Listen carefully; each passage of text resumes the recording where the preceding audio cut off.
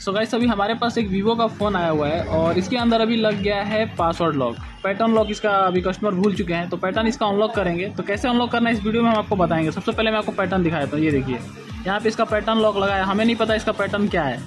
तो इसको अनलॉक करेंगे और अनलॉक करके आपको दिखाएँगे कैसे इसको अनलॉक करना है। सबसे पहले मैं इसकी मॉडल की बात करूँ तो ये वीवो का वाई सेवेंटी वन मॉडल है। और इसका मॉडल अगर आपको चेक करना है और फ़ोन लॉक है तो यहाँ से आप कैमरे के पास जाइए और ऐसे चालू करेंगे तो आपका कैमरा चालू हो जाएगा। ये देखिए। कैमरा चालू हो गया, यहाँ पे आपको एक फ़ोटो क्लिक करना है। फ़ोटो क्लिक करने के बाद उस फ़ोटो पे चले जाना है और जैसे ही आप फ़ोटो पे जाओगे तो यहाँ पे आपको एक नोटिफिकेशन का टाइप का दिखेगा, इस पर क्लिक कर देना है। तो यहाँ पे आपको मॉडल दिख जाएगा, ये देखिए। यहाँ पे पूरा डिटेल दिया है वीवो सत्रह चौबीस। और इसको आप सर्च करोगे तो आपको पता चलेगा कि ये वाई सेवेंटी वन मॉडल है। और वाई सेवेंटी वन है तो इसके अंदर जो सी पी यू लगा है, वो लगा है क्वालकम का। तो क्वालकम सी के लिए हमने इसको पहले से ही खोल रखा है, क्योंकि क्वालकम सी पी यू है तो इसका ज़ाहिर सा बात है कि पीछे से आपको इसका आइडियल पॉइंट शॉर्ट करके हमें अनलॉक करना पड़ेगा। हालाँकि अभी आ, बिना खोले भी कॉलकम में सिस्टम वीवो का दे दिया है कि उसको आप अनलॉक कर सकते हो। बट अभी फ़िलहाल हम आपको अनलॉक करके इससे दिखाएँगे। आइडियल फ़ंक्शन वर्क करता है कि नहीं करता है? फास्ट बूट में ले जाने के लिए आपको पता होगा कि आपको क्या करना है।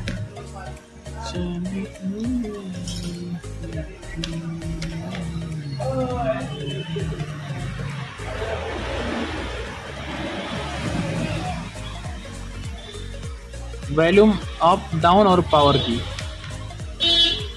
यहाँ पे फास्ट बूट मूड आ गया। तो चलिए अब देखते हैं।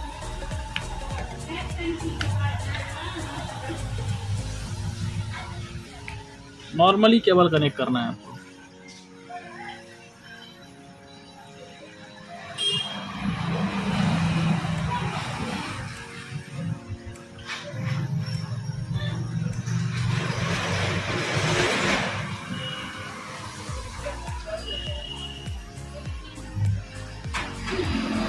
तो यहाँ पे आप देख सकते हैं क्या लिख के आ रहा है अनसपोर्टेड फ्रेमवेयर यानी कि ये फ्रेमवेयर जो है वो सपोर्टेड नहीं है अभी भी।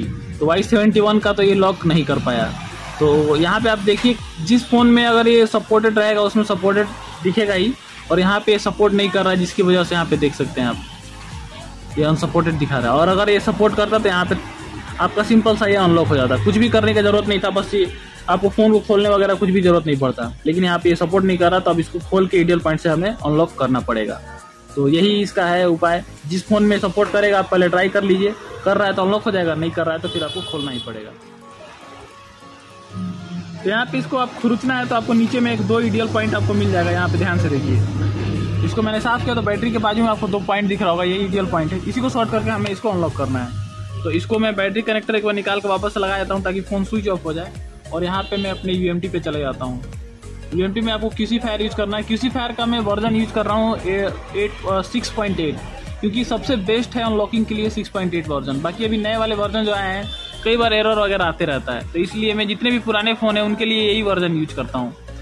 मेरे कंप्यूटर में इंस्टॉल यही रहता है। जब कोई नया फ़ोन आता है और पुराने वाले वर्जन में सपोर्टेड नहीं रहता, तब जाके मैं नए वाले को इंस्टॉल करता हूँ। क्योंकि हमारा एंटीवायरस नए वाले को वैसे भी हटा देता है। ये वाला मेरा एंटीवायरस इसको नहीं हटाता है तो इसलिए मैं इसको हमेशा परमानेंटली रखता हूँ। अभी के डेट में मार्केट में ज़्यादातर पुराने ही फ़ोन आते हैं हमारे पास अनलॉकिंग के लिए।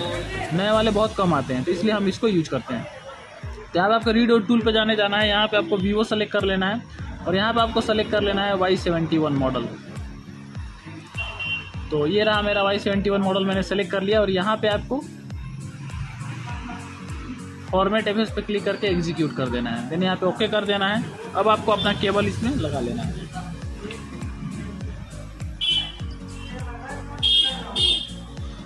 ये दोनों आइडियल पॉइंट को शॉर्ट करके आपको केबल एक साथ लगा देना है।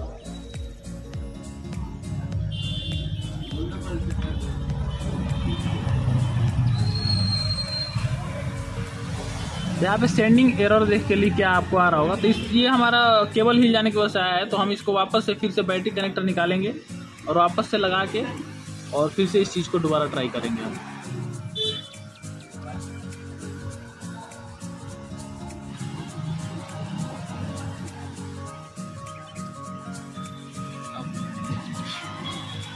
तो आप देख सकते हैं फाइनली हमारा मेहनत जो है वो काम आ गया। अभी ये फ़ोन प्रॉपर एकदम कनेक्ट हो चुका है।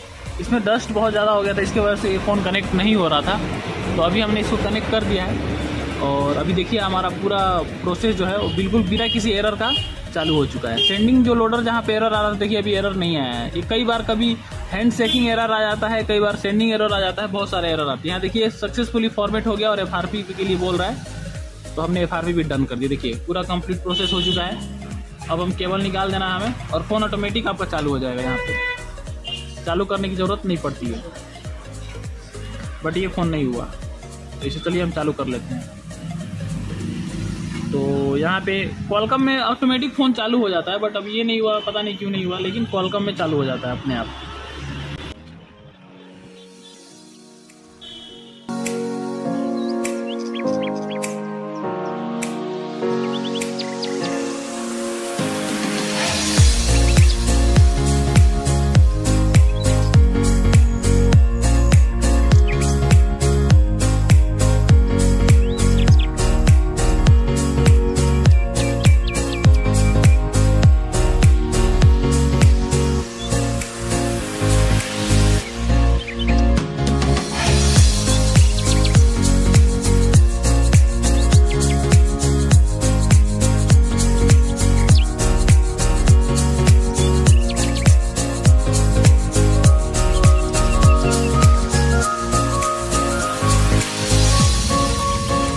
तो यहाँ पे आप देख सकते हैं ये फ़ोन अभी नॉर्मली खुल चुका है और अभी इसका कुछ सेटअप कर लेना है। जब नया फ़ोन आप लेते हैं तो जिस प्रकार का सेटअप करते हैं, उस प्रकार का सेटअप कर लेना है। एक्चुअली जब भी आप पुराने वाले जो फ़ोन है, उसमें कई कई ऐसे फ़ोन हैं जो जल्दी हो जाते हैं। कई फ़ोन ऐसे हैं जो बहुत ज़्यादा टाइम लेते हैं खुलने में, जब भी आप अनलॉकिंग और उसको फॉर्मेट करते हो तो।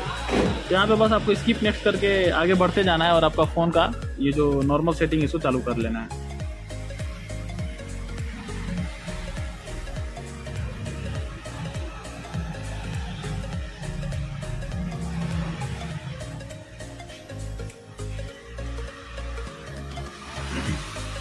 देख सकते हैं, हमने पूरा सेटिंग कर दिया और यहाँ पे फ़ोन ये जो है नॉर्मली चालू हो चुका है। तो इसका हमने अभी एफ़ आर पासवर्ड सब कुछ बाईपास कर लिया है। तो बस फ़िलहाल इस वीडियो में इतना ही। वीडियो कैसा लगा हमें ज़रूर बताइए। अच्छा लगे तो लाइक करिए और इसी प्रकार के वीडियोज़ को देखते रहने के लिए चैनल को सब्सक्राइब कर लीजिए। धन्यवाद। देख सकते हैं आप।